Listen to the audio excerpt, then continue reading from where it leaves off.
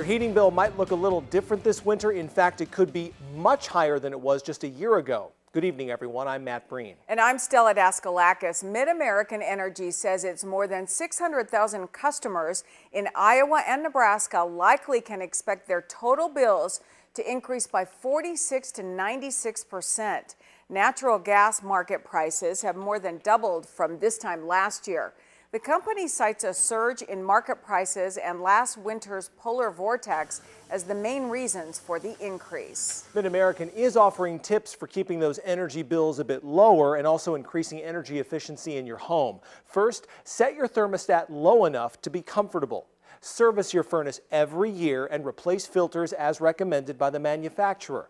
Also, set your water heater to 120 degrees. If you find leaks in your home, seal them. Plus, check your insulation. And here's a tip too, close your curtains at night.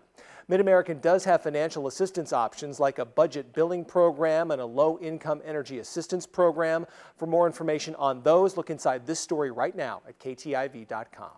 In addition to higher heating costs, property assessments are going up in Iowa, and paying more for rent could make it a hard winter for Siouxland tenants. The Iowa Department of Revenue has ordered an increase in some local property assessments, which could hit some landowners hard. It means the assessed values of multi-residential properties like apartment complexes, nursing homes, and trailer parks could rise by 22 percent.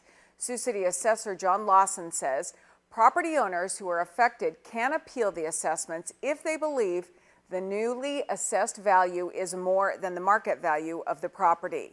Appeals must be filed with the Sioux City Board of Review. Those appeals must be returned or postmarked by November 1st. For more information, look inside this story at KTIV.com. Gas prices are also on the rise. According to AAA, the cost of gas in Iowa, Nebraska, and South Dakota is still below the national average of 3.28 a gallon, but it's still up nearly a dollar from a year ago Still lower, though, than the highest recorded average from 2008, when the national average for a gallon of regular unleaded gas was $4.11.